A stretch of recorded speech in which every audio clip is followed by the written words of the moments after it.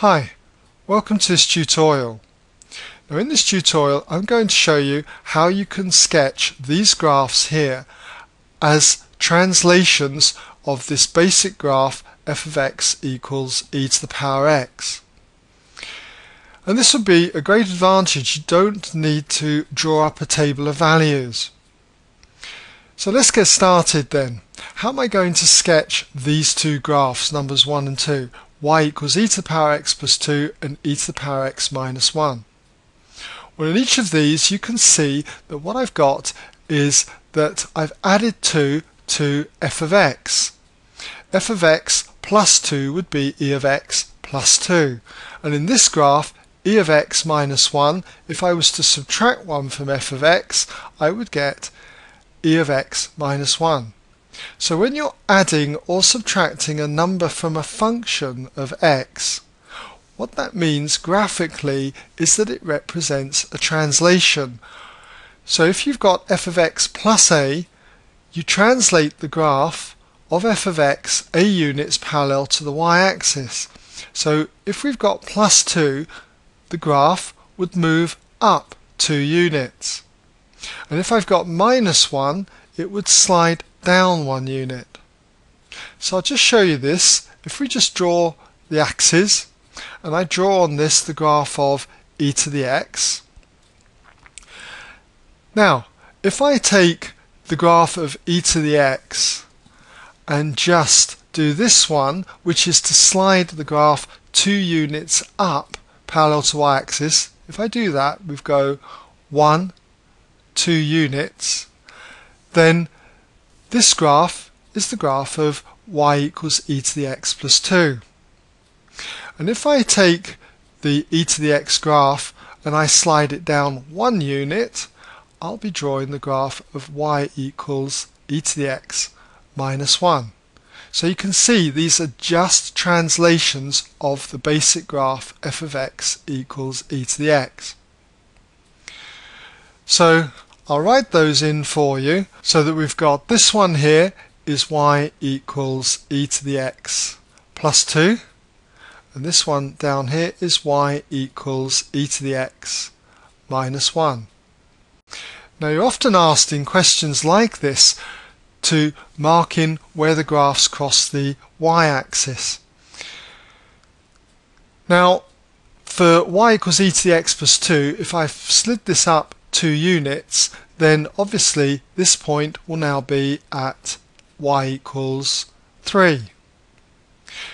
You can also get that by just putting x equals 0 into here because e to the power 0 is 1 and 1 add 2 is 3. So this point here is 3. And for the graph y equals e to the x minus 1, I've slid the graph down one unit so when it was at 1 here, bringing it down one unit puts it at the origin. So that's the origin there. Also, you can be asked to sketch in the or mark in the asymptotes. Now, an asymptote is where the graph y equals e to the x, for instance, approaches. It approaches the x-axis or the line y equals 0.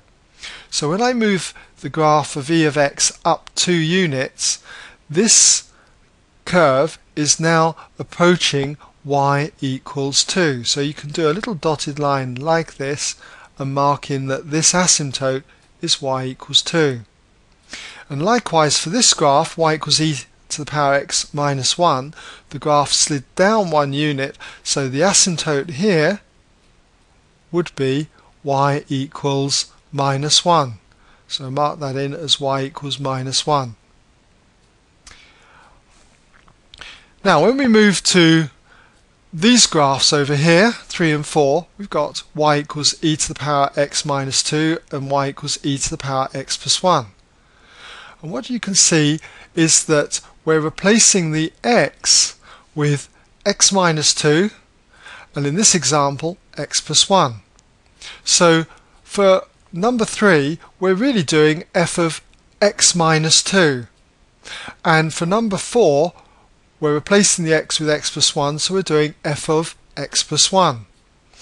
And in examples like this, okay, when you've got f of x plus a, this represents a translation of, and you've got to be very careful here, minus a units parallel to the x-axis. And what that means is that the a value in this one is minus 2, so you're translating it minus minus 2, that's 2 units, in the direction of the x-axis. That's 2 units, sliding this graph 2 units to the right.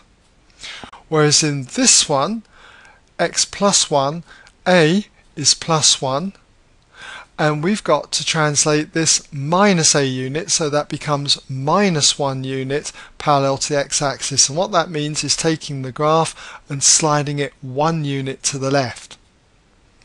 So we'll just do that for you. We'll put up the axes, we'll put up the graph of y equals e to the power x, and we'll take the graph of e to the power x and slide it for the first one two units to the right. So if we take the graph and go say one unit, two units to the right, then this is the graph of y equals e to the x minus 2. And for the other graph, e to the x plus 1, I've got to slide the graph of e to the x one unit to the left. So if I move that, say, one unit, Let's say it's like that. Now again, you're often asked to write in the values that the graphs, where the graphs cross the y-axis. We'll just mark in the graphs by the way. This graph here was the graph of y equals e to the x plus 1 and this one was the graph of y equals e to the x minus 2. So we need to find out where the graphs cross the y-axis. So for this one, all I need to do is put when x is naught into the equation. So you've got e to the naught plus 1. Naught plus 1 is 1, so this is e to the 1. And it's best to leave it as e to the power 1 or just simply e because it's an exact value. If you use your calculator, it'll be a horrible decimal. So this curve y equals e to the x plus 1 intersects the y-axis at the point E. And for this graph here, y equals e to the x minus 2, if we want to locate this point here, again just set x equal to 0. So you've got e to the power 0 minus 2, so that's e to the power minus 2. And again, don't use your calculator, just mark in that that point there is e to the minus 2. I haven't got much room so I'll just put a little arrow here and just say that that point is e to the power minus 2. Okay, so hopefully you've been able to follow this tutorial and you can see that any of these types of graphs can be easily sketched without drawing up a table of values by just translating the graph of f of x equals e to the power x. Alright.